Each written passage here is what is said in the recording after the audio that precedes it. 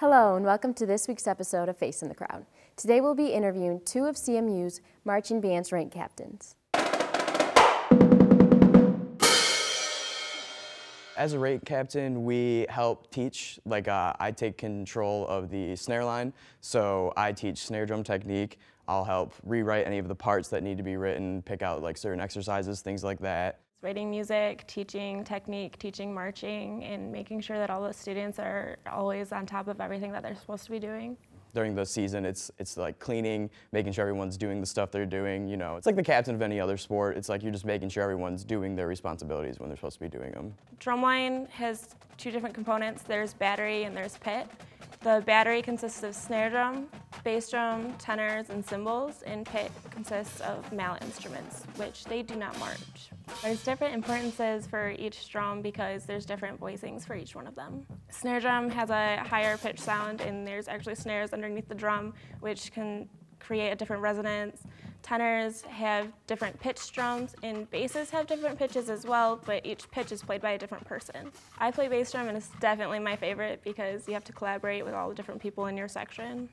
A lot of kids in the band are music majors, but um, I'm a neuroscience major, so in the future I want to go to grad school um, for like clinical neuropsychology, which is like helping people recover from brain injuries and things like that. It's a little bit different because like I really enjoy music, but I also have a passion for learning about how the brain works and things like that.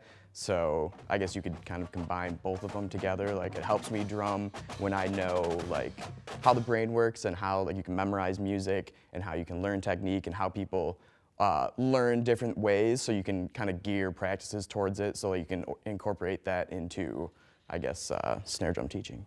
And then the motion is just straight up and then straight down. There you okay, go. Left hand's a little little trickier. Um, oh what we're gonna do is you're gonna take the stick and put it right here in the crevice of your thumb, all right? And then wrap your pointer finger around, and then set that right on top. And then this bottom one touches like right where right where the skin meets the nail. Yep, mm -hmm. just curl it around. Yep, perfect, just like that. Put your pointer finger on top. And this one's tricky. This one's like turning a doorknob. So if okay. you, when you go to play, you got to imagine that you're turning a doorknob, and that's how you would lift the stick. So. Yeah, exactly. I'm an art major. My concentration is 2D and specifically photography.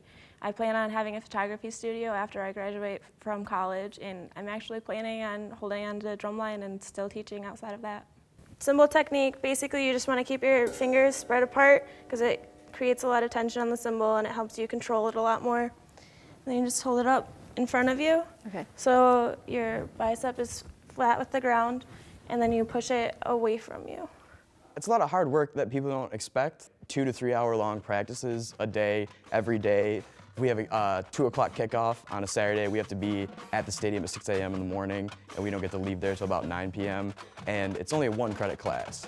So you're not, you're not getting the five credits or anything that you're actually putting that time in. It's the people that are here want to be here, and it's not just, you know, you're taking a class to get credit. It's everyone has a passion for it, and everyone works really hard to like accomplish their goals, I guess. So.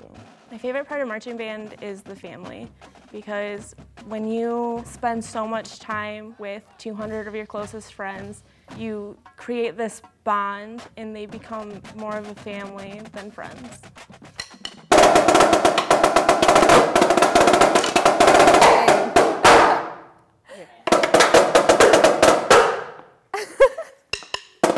something like that.